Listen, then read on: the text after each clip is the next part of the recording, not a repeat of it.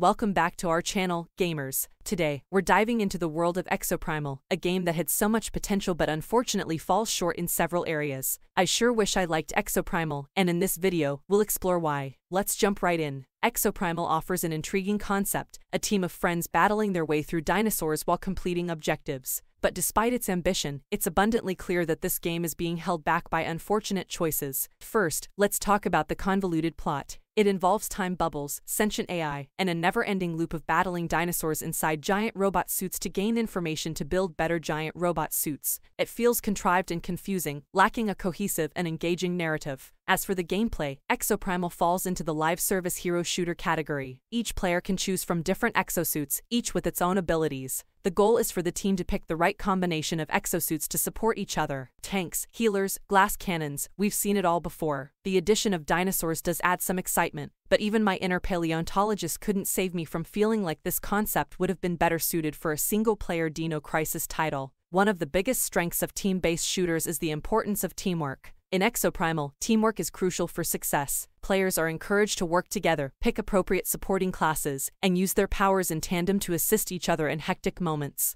When everyone is firing on all cylinders, it can be quite enjoyable dino slaying mayhem. But if even two members of your team stray off course, it's likely that all of you will suffer the consequences. Multiplayer gameplay in Exoprimal follows a series of challenges, most of which revolve around following a glowing line to reach different areas. Players clear out dinosaurs along the way and move on to the next zone. The twist is that translucent images of the other team are overlaid on the screen, indicating if you're completing challenges faster or slower than them. Finally, both teams are transferred into a separate map for the final challenge. This is where things get interesting, as the teams are finally in the same place. Objectives may vary, such as capturing a base or escorting a slow-moving object. The key difference is that now the five players on your team can impede and attack the other team. The addition of dinosaurs and the advantage given to the team that finishes first adds a layer of excitement to the final round. However, there are several limitations that dampen the fun. Players can only become dinosaurs for a limited amount of time, and while it may be exhilarating to unleash havoc as a T-Rex, it leaves the rest of your team at a disadvantage. Communication between teammates becomes crucial, and if all five players aren't completely focused, things can quickly go downhill. Another issue is that Exoprimal falls into the pattern of online multiplayer live service games. It comes with purchasable accessories, player levels, survival passes, and that dreaded menu screen. It feels out of place in 2023, where players crave innovation and fresh experiences.